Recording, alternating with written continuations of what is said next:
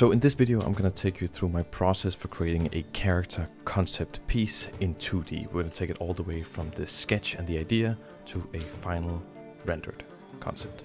A quick disclaimer, this video is a shortened version of a full 5 hour course available now. Links in the description and more info at the end of the video. Okay, so typically the first thing I would do when making a character like this is uh, define who the character is, right? So that's why I've gathered this reference board, a PureRef reference board, where I've also written out a little description for who the character is. And in this case, it's sort of this uh, uh, Middle Eastern-ish warrior who is wielding a cursed sword, um, and he's now been abandoned by his family and uh, his country, and he's looking for a way to rid himself of this cursed sword. Um, so that's kind of the, the, idea of the character. The character is also supposed to fit into this uh, universe that I have called Irontail, which is a fantasy IP that I'm developing. And then I'm also imagining that the character needs to fit into sort of a action RPG rogue-like kind of setting, uh, like Hades or Diablo or something like that. And that's kind of the, that, that's the framework for what I'm designing this character for. And I think it can be really important to uh, to set those uh, boundaries kind of, and not just designing a character for the sake of a character almost. Uh, I find it a lot more useful, uh, both in terms of like design, visual language, and all these things to to have those boundaries. Um, I think it, it guides me a lot more than than becoming a, a compromise or hindrance. It's actually it, it lets me think in a certain way and design something for a specific purpose. And I think uh, I always make much better stuff when I'm thinking in those uh, those lines. And along with that, I have a bunch of other reference that uh, is going to help me along, uh, both some real world reference and some um, inspirational reference of art, uh, especially something about like the uh, some iconic characters from like Dota and uh, also creators there. And I'm just looking at those characters for their kind of elegance and simplicity in design and the, the clear cut nature in, in how they look. Um, but uh, but balance your references. I think that's that's a really good thing. So when getting into the actual sketching process, the first thing I like to do is still try to define who the character is. And just based on the description, it doesn't really tell us exactly what the character is. So I would usually start off by defining like a very loose sketch of who the character is in terms of like the whole thing, right? So I'm doing these quite dynamic poses that uh, illustrate kind of the body language of the character, but also the different uh, proportions of the character.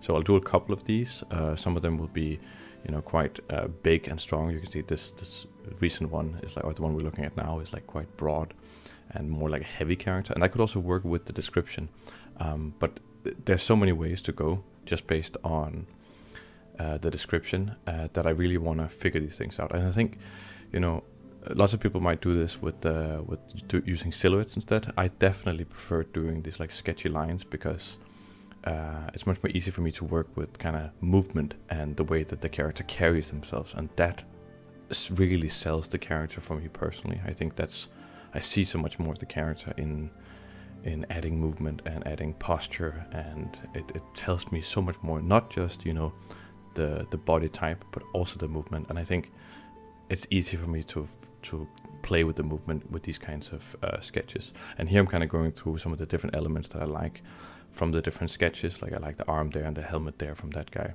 And then I'm kind of combining them and saying, okay, now I have an idea of who the character is. And the guy in sort of the middle holding. So when I have an idea of who the character really is, also kind of visually, then I will go in and do a proper sketch. And this sketch is the one that's actually going to become the kind of the foundation for the final concept piece.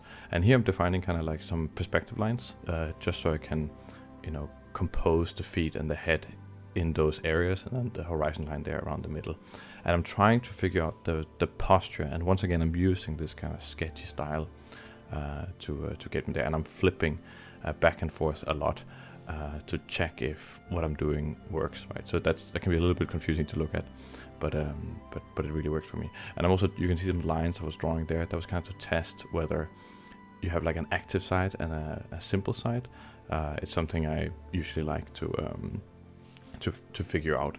So I'm like, uh, one side should be kind of simple and the other side should be complex. So his side, where his hands and his sword is pointing towards, that's kind of the complex side.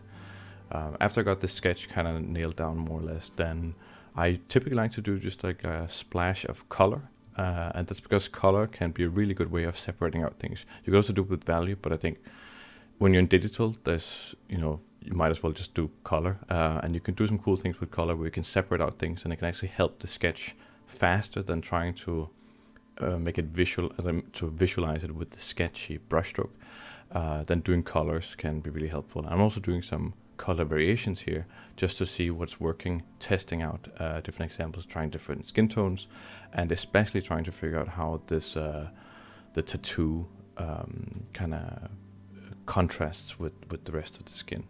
Um, and uh, I was actually having a kind of hard time figuring out exactly what I would want, um, but I tried out bunch of different things. I ended up going with something uh, in the middle, which is kind of where I started, but but it can it can be helpful to test out stuff once in a while. My process is typically not to uh, try out a bunch of things. I, I, try out the things in my head rather than uh, doing it on the page. Um, but uh, but just for visualization and for you guys, that's kind of the process I would go through in my my head. Um, and for me that works. Um, so when I'm happy with the with the colors and the sketch and all that stuff, then I can move into kind of doing a proper construction drawing. And this is something that you know you don't need for for a concept. You don't need it to be really, you know, properly constructed and proper in 3D and and in perspective, all these things. But it really helps when doing the later parts, like the cloth and the items and stuff, that they all feel connected to a proper form. Can really sell them as like proper items, and it also helps me design items that are functional. Uh, and I'm actually planning on making this into a 3D character later on. So that stuff is just already really helpful. You don't need it, but it just means I'm solving some things already. And, uh, and I also think it's fun, and it, it definitely gives it a more grounded look, or like a uh, like a look that everything functions. And I'm I'm a sucker for that, so so so that's great. And I'm also doing some like lots of constructional anatomy here, uh, looking at some reference here and there, and making sure that everything is grounded. And you can see in the background I have a grid, and that's just to keep myself aligned with everything. I could probably also do this without the grid. I tend to do it without the grid mostly, um, but it's super helpful. So if you're getting into something like this, I can I can recommend trying those things out. And here, um, starting to build uh, cloth on top, looking at some reference, building some cloth um, on top of that construction. And it really helps the drapery and the folds to have that underlying uh, construction base. Uh, then I was building out the hat um, on this uh, this head here, and I was actually kind of struggling with with building out the helmet. It was uh, it was not really working for me. I think I realized that I had to move the head up a little bit because I had a certain look in the sketch where where the head was a bit more kind of longer and elongated, and and I really liked that look because it gave it like a more sinister look. And the character's not sinister, but the character's also a little bit dark in like how they they function with this cursed sword and stuff.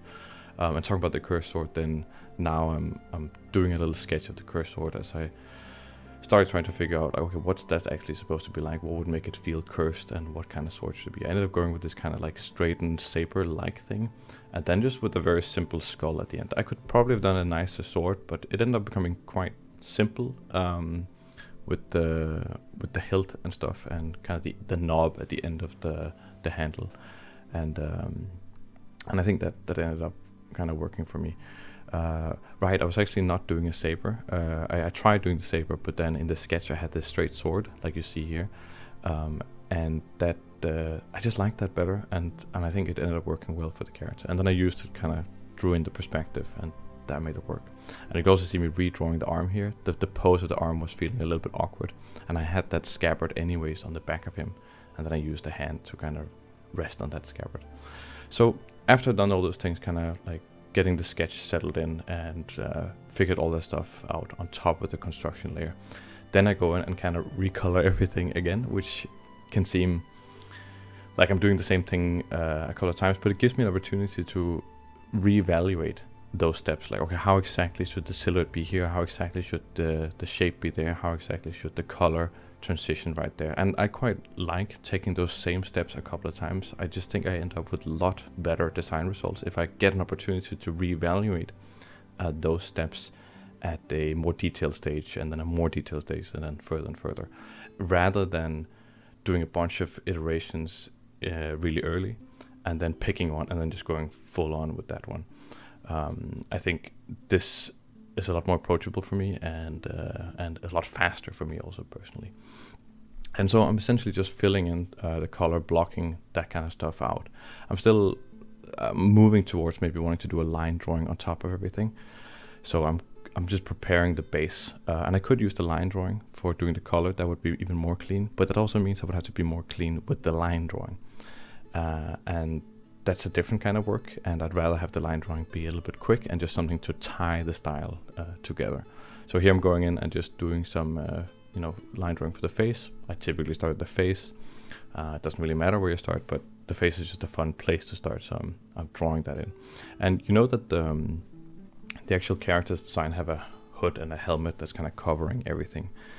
So the face is just something that it could be nice to have that underneath, uh, and maybe I do a separate uh, portrait, uh, like next to the to the drawing itself, to um, to kind of show who the character is behind the mask. But with the line drawing, nothing really special is going on here. It's just like a thinner line, uh, kind of reconstructing everything. And I'm looking at some reference here and there to to make that happen. And again, I'm not relying on the line for selecting stuff or like masking things. I'm just doing it to tie together the style. Um, so it, I, I, can still be a little bit loose with it. Um, I was really struggling with the hand there on the scabbard. I, I, actually never got it quite solved, but I was like, you know what? It's a, it's just a concept. It's not a final character illustration. It's, it's more of a concept. So I was uh, kind of forgiving myself for not doing that well enough here. Um, and I'm drawing out the sword and these things. And I think the line part is something that can be quite just relaxing. Uh, it's a very kind of meditative state. You see me here kind of cutting out the head, so I have that still behind the scenes, and then I'm drawing the helmet on top of uh, afterwards. It's just so I have that flexibility where I can um, uh, have both, right? I want to see the head underneath and see the, the stuff. And I actually managed exactly to get the eye to peek out underneath the helmet there, and that was uh, very rewarding because the eye and the, he the helmet, the face and the helmet kind of just matched up and uh, and having the eye poke out there a little bit. And I also changed the scabbard because uh, I hadn't really changed that since the sword design changed a little bit. So I, so I changed that. And here I'm just cleaning up a few lines, a few like color uh, kind of shapes uh, here and there, just masking it all out, making it a little bit more pretty. Not super essential for the concept, but it, it, it ended up uh, working quite nicely.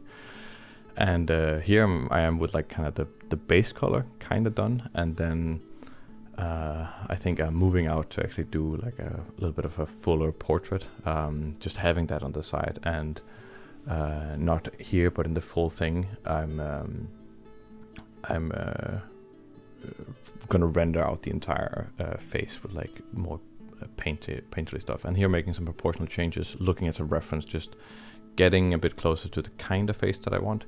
I, I never ended up being completely happy with the face, but I think it, it got a little bit better when I was doing the the final render. Um, and here I added some hair and stuff, and I tried some different beard shapes. And I actually ended up really liking this beard shape. I, I didn't think that the character was gonna have a beard to begin with, but but these kind of like side stuff that really worked. So I got that kind of base color down, and then I'm just introducing some shadow with a multiply layer. And here I can I use the whole kind of uh, character in a group as a mask for everything, and adding the shadow. Um, is super fun and super rewarding. And I'm also trying some different variations. One where the sun was coming from the front, one where it was coming from the side, just to see what was working. And I ended up really liking the front uh, or the side one because it kind of put the entire front in darkness, and that played well with kind of the character. And even though it's only a concept piece, I think it, it still sells the character. And I think that's often the idea with a concept piece. Also, is like if you want to sell the character, then and you're gonna do a little bit of lighting, why not choose lighting that you know affects how we perceive the character. And once I've done the shadow, then I, I go in afterwards and just do a little bit of local color variation uh, here and there. And uh, and I know it's gonna work because I have that shadow already built in. So hopefully, just like doing some local color and then having that shadow on top, it will just make it kind of seamless and work. Uh, here I'm working a little bit on the tattoo, and I just I wasn't happy. It kept looking like a shirt whenever I was doing something a little bit more weird, and I wanted to be like a tattoo but I also wanted to be distinct because I wanted to keep that simplicity and stuff. Um, and I ended up doing something quite simple, just the way it is now, which is just the arm and then a band, two bands across the, the arm. And you know, it was simple and I, I ended up kind of really liking it. And I think it worked really well with the rest of the ensemble. And here I'm just continuing doing, you know colorations, doing a little bit of rust on the on the helmet, and playing with the the lighting. We also got some bounce light coming in. You can see that kind of lighting up under the the pecs and the, the abs and stuff. And then to to wrap everything up a little bit, I'm doing some uh, rim lighting, and that's just to make everything a bit more showy and uh, and flashy. Uh, you can see you got the rendered face there. You just saw it for a little bit on the side, um, and uh, you can see that in the in the full course, of course. Uh, and here I'm talking a little bit about like the different kinds of materials. That's also a really important thing to think about is how does each material feel, and especially if you're doing something quite fast, like for a concept piece, really getting that material difference uh, can make a huge difference and it's something you can do relatively fast and it makes a really big difference for the perceived nature of each material. I also did a bunch of ambient occlusion here just to make everything pop out, right? The the shadow is really what does it to make everything pop, uh, to make everything kind of form like, but then the the ambient occlusion makes everything just separated and pop a little bit. So so that's a really nice thing also to add. And that you know it depends on the style you're going for, but for me it was definitely uh, working. And I was trying a bunch of different stuff with the lighting here. Uh, I was trying to turn off the shadows and shit without that looked really good.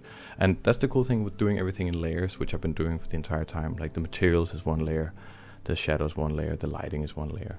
And then you can turn the stuff off. And if all of the, if you turn on one layer, uh, turn off one layer and the other stuff still works, then you're pretty good to go. And then if you just have one of the layers on and it still works, then it's probably gonna work pretty nicely together. And that's, that's usually how it works for me. Um, and here I'm getting really close to the to the final thing. Um, I'm just putting in the final little rendering details here and there, just fixing up like little light shapes, making everything nice and pretty, uh, and trying on the face just to see if if that could be something. And then to wrap everything up, I'm just composing a little sheet here where I'm also putting up the sword, just putting in some color there so you kind of know what what that sword is like. And the very final thing is just adding some cursed effect to the to the sword, and, uh, and that's pretty much how the whole thing ended up.